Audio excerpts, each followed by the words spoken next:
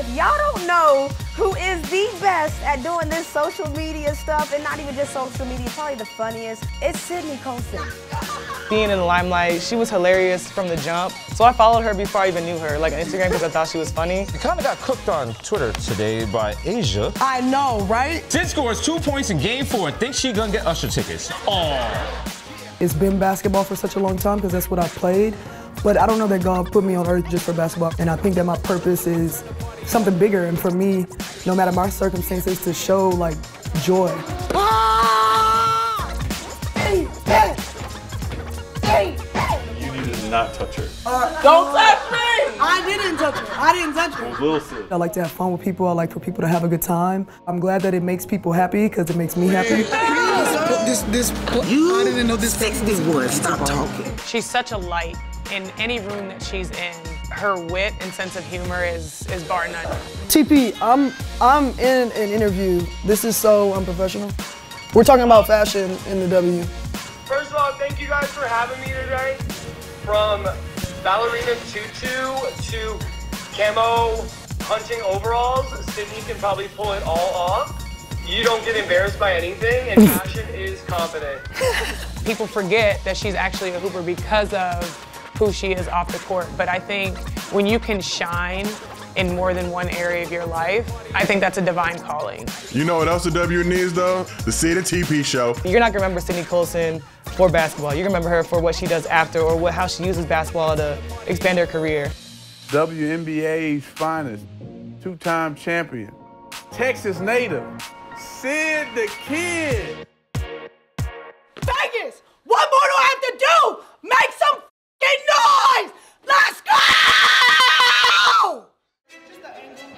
Well, before I met Sydney, I actually had to work her out prior to training camp. And I always like to, once I get into conversation, ask, you know, what is your dream? Like, what's your passion? And she goes, well, low key, she goes, I want to be an actress. My TV journey has been honestly just the Sid and TP show. I, I've been taking acting classes since like 2020, but I still had never been on anything because I would take classes and then I would go play in a W season or take classes and something else will be coming up where I'm always like taking a break. So it's never just been consistent. So really this show, um, the Sid and TP show and being able to have some like written sketches where TP and I actually acted, for me it was like, okay, seize the moment and take advantage of this opportunity. Wow. Faces of the league. Faces of we the are. freaking league. You know how many times have I've been called the face of the league in the first 10 years of my career? Zero. In the past three months?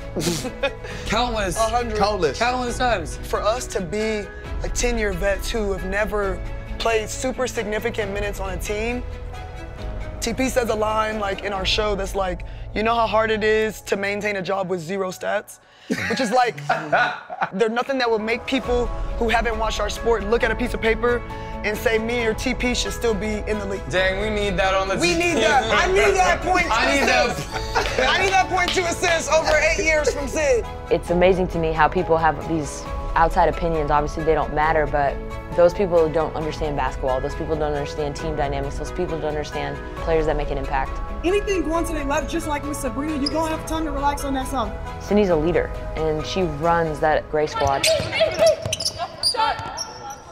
You gotta go to the middle, bring it to the middle, talk to her, but we're running away to try to match up with big. But off the court, um, it's so cool to see her thrive. I mean, when Cindy walks into a room, you feel it. I knew the premiere, it's big, like we have a TV show, that's nothing to just like overlook. My girlfriend saw that that was a moment that, you know, should really be celebrated and so she did a lot of organizing to get that done. Just the team showing up in that way and some of the coaches being there too, like it was just, the support is I think what made me really emotional. You know, it was cool just to see the excitement um, on her face. I know this is something that she's worked really hard for, so just being able to support her during uh, this important moment in her life is cool. Thank you so much, Becky. Thank y'all for just like letting us be ourselves and just you don't realize you changed our lives in a major way. I know me, but like also Sid, like to be able to be comfortable in our own skin and like be able to broadcast it for the world to see. It's not easy to be done, know that that's a moment that I'll be able to forever look back on. You know, if I'm lucky enough to ever be on a TV show, to be in a movie, something like that, like this will always be my first premiere moment. So I have something to surprise you with. Sydney Colson, she's just one of those special people. Hi, it's Lil Sid. She has this personality off the court that, you know, is very communal. She brings people together, honestly, through laughter and storytelling and just being a good person. I don't like the fact that there's two of you. No. That experience, like everybody loved it. It made you excited about Media Day. It made you want to give that energy for what the fans are gonna see on the green screen stuff. Vegas, I want you to scream like I'm chasing you. Vegas, I'm serious. Here's Sydney. I don't know if it's hilarious because I know Sydney, so I'm laughing even harder. But I even think if a casual person that didn't know or watched, they would laugh too. So um, she's my family's favorite player. I don't think it's close. Cha cha. Hey. Cha cha. Hey. Word. Yeah. Yeah. Really mean.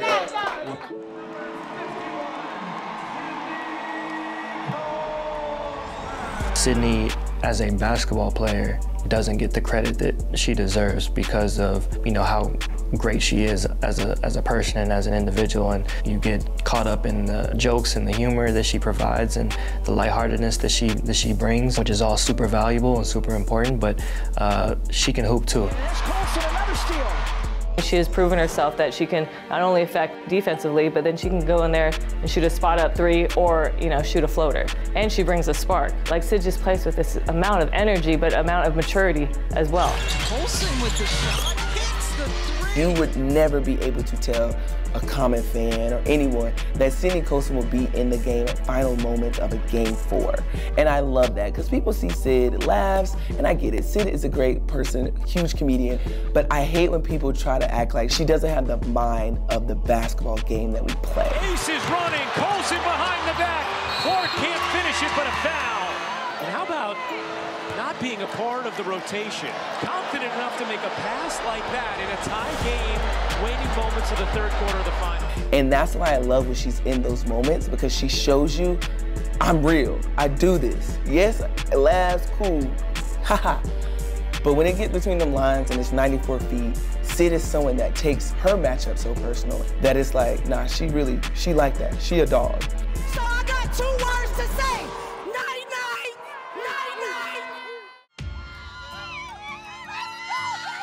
I think coming from that experience of being a champion, she understood that it, it takes a lot, mentally and physically. And so she came into camp ready.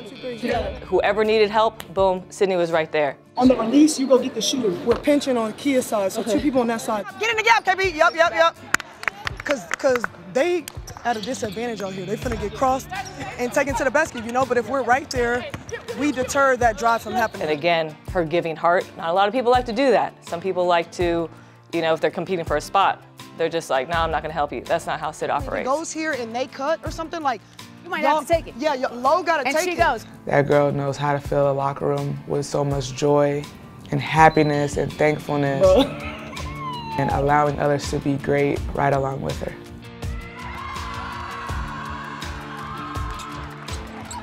As goofy as she is, she's she's the adult in the room at the same time. She rides that line really well of when she can be goofy and when she needs to be adult. And she's real, and I think that's what people gravitate towards.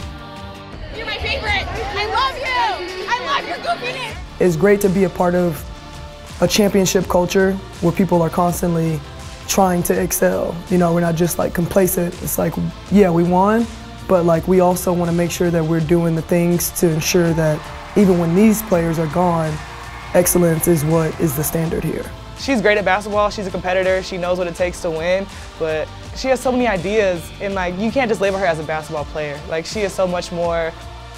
You know, it's amazing that a year ago, this was a dream of hers, and she was able to accomplish it. You know, with being a professional athlete, with showing up every single day, again, for her teammates, and being the heart of our team. So whatever goal it is, whether it's being an actress, being a basketball player, I mean, she's gonna accomplish it.